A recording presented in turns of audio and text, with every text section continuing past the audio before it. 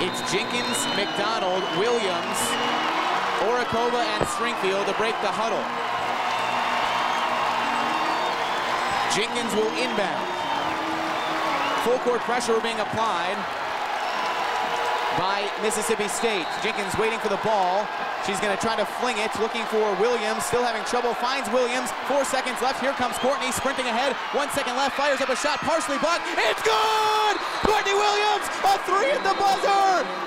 USF stuns Mississippi State. Courtney Williams hits the game winner from the right side, and the path continues for the Bulls.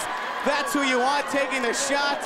Courtney Williams with one of the most cold-blooded baskets to stun this crowd into oblivion. We'll go to the monitor once again, but USF has likely just won this game.